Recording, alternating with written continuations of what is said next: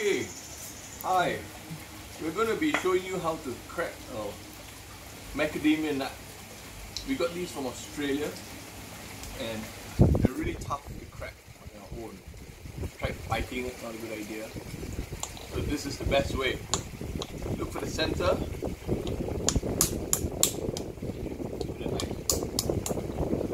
Knock. Look what's inside.